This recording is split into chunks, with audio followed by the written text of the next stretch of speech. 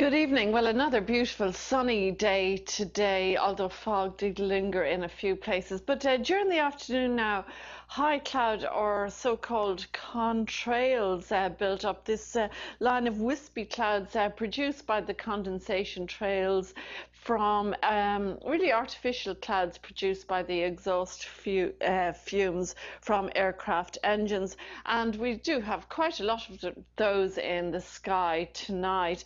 But generally settled, calm conditions due to this area of high pressure sitting right over Ireland and still high pressure very much in evidence tomorrow and very slack winds, those winds circulating in a, a clockwise direction about that intense area of high pressure, beginning to push away slightly to the west on Sunday and pulling down this light northerly, which will freshen during Monday and bring down a fair bit of cloud on Monday with perhaps some showery outbreaks of rain. So for Monday and Tuesday, more in the way of cloud, cool, breezy days.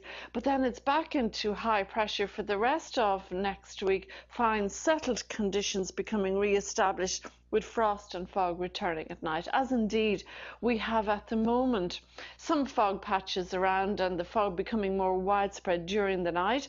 Already air temperatures have dropped below freezing in places, and there will be widespread sub-zero temperatures tonight, down as low as minus 6 degrees in the air and minus 10 or minus 11 degrees in the ground with some freezing fog patches likely, just gradually lifting off in the morning.